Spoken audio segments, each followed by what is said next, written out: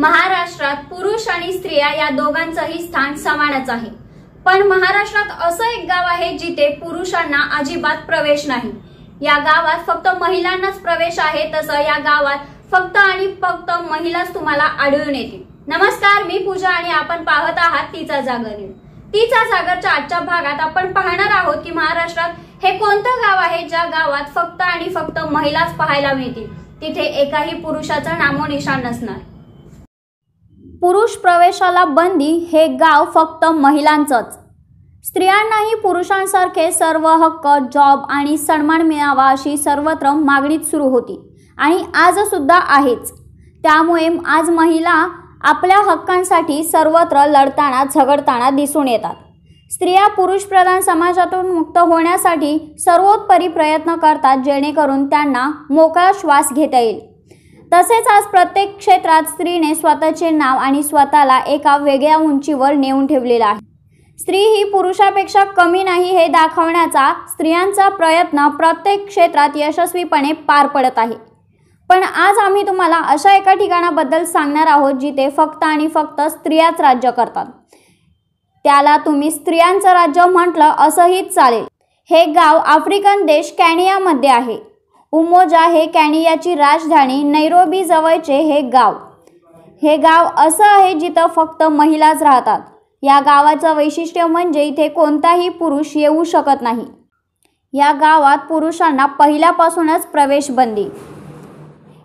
इथे सुमारे पन्नास महिलांचा समूह त्यांच्या मुलांसह भुसाच्या झोपडीत राहतो. या गावात पुरुषांना प्रवेशाला बंदी आहे. या ठिकाणी कोणी घुसल्यास स्थानिक पोलिसांकडून त्याला अटक केली जाते. हे गाव एकोणीसशे नव्वदमध्ये पंधरा महिलांच्या गटाने सुरू झाले होते. उमोजाच्या लोकसंख्येमध्ये आता बालविवाह स्त्री जननेंद्रियाचे विच्छेदन कौटुंबिक हिंसाचार आणि बलात्कार यातून सुटलेल्या महिलांचा समावेश आहे. या अशा महिलांचं मिळून हे गाव तयार झालं आहे ज्यामुळे तिथे पुरुषांना बंदी घालण्यात आलेली आहे. सांबुरूमधील हे सांस्कृतिक नियम पाळणारं गाव आहे खरं तर या अशा स्त्रियांकडे समाजात द्वेषाने बघितले जाऊ लागले. जणू काहीही त्यांचीच चूक असते. अशा अनेक बलात्कार पीडित महिला आहेत ज्यांचे म्हणणे आहे की त्यांच्यावर गुन्हा घडल्यानंतर त्यांच्या पतींनी त्याला कुटुंबाचा अनादर मानले आणि त्यांना घरातून काढून टाकले. आणि त्यानंतर स्त्रिया इथे राहायला आल्या व त्यांनी गावाचे नाव उमोजा ठेवले जे एकतेचे आणि एकनिष्ठतेचे प्रतीक आहे. हळूहळू या गावाचे आश्रयस्थानात रूपांतर झाले. इथे घराबाहेर काढलेल्या सर्व महिलांचे स्वागत केले जाते.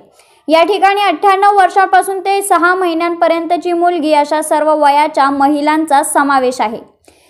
अनेक महिला गरोदर असतानाही इथे येतात आणि येऊन राहायला सुरुवात करतात. उमोजा गावात महिला पूर्ण स्वातंत्र्याने आणि आनंदाने राहतात. इथे कोणत्याही प्रकारचा त्यांना त्रास नसतो व त्यांना कोणत्याही कामासाठी कोणाच्या परवानगीची गरज लागत नाही. या गावातील महिला रंगीबेरंगी मण्यांचे हार बनवतात आणि असे जोड उद्योग करून ते त्यांचा उदरनिर्वाह करू शकतात.